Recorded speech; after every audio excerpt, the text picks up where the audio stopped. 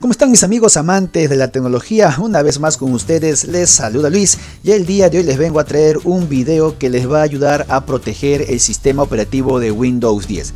Esta configuración se llama protección del sistema y no todos los equipos lo traen activado por defecto. Tenemos que hacer un par de configuraciones. Protección del sistema te va a servir cuando el sistema operativo tiene algún fallo o alguna mala instalación de algún programa o de alguna otra forma tú quieres salvar el sistema operativo. Quiero comentarte que con estos pasos eh, podríamos retroceder en el tiempo virtualmente, restaurar el sistema y recuperar todo el sistema operativo sin ningún problema. Entonces quédate hasta el final.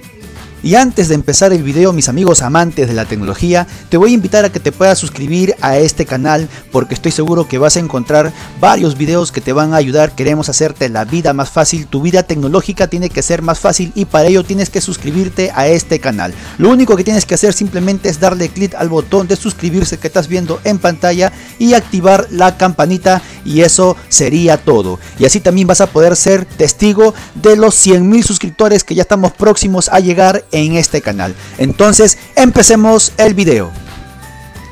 Muy bien, ahora lo que tenemos que hacer simplemente es presionar las teclas Windows R, ¿ya? Y estas palabras SYSDM.cpl,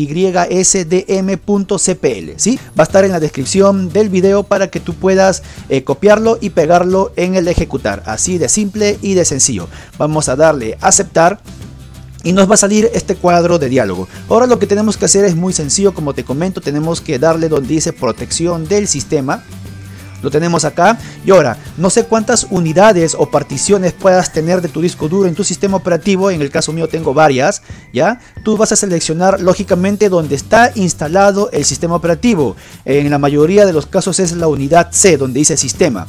¿ya? Lo seleccionamos y vamos hasta la opción donde dice configurar. Le das un clic. En el caso mío yo lo tengo activado.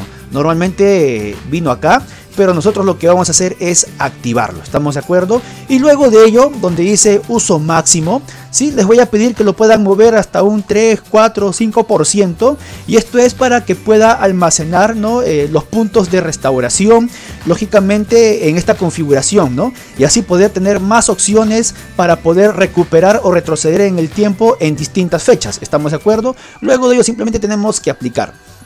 Aplicar y aceptar. Este procedimiento es muy sencillo. Este procedimiento te va a proteger el sistema. Ahora lo que vas a hacer es crear un punto de restauración. Lógicamente que también se va a crear automáticamente, pero a ver, vamos acá. Darle donde dice crear. Al punto de restauración yo le puedo poner, a ver, eh, prueba 2, porque creo que ya hice una prueba. Vamos a darle donde dice crear. Y vemos que esto va a demorar de repente entre 2 a 3 minutos, pero el proceso es rápido. Y muy bien, acá nos comenta que el punto de restauración se creó correctamente. Vamos a cerrar. Vamos acá, por ejemplo, en la opción de restaurar sistema. Le damos un clic ahí Vemos que nos aparece este cuadro de diálogo, vamos a darle donde dice siguiente y vemos que acá yo tengo varios puntos de restauración creado de manera manual. Por ejemplo, uno dice respaldo que es en una fecha específica, otro dice prueba lo que he creado el día de hoy y hay otro punto de restauración que se ha creado de manera automática. ¿Estamos de acuerdo?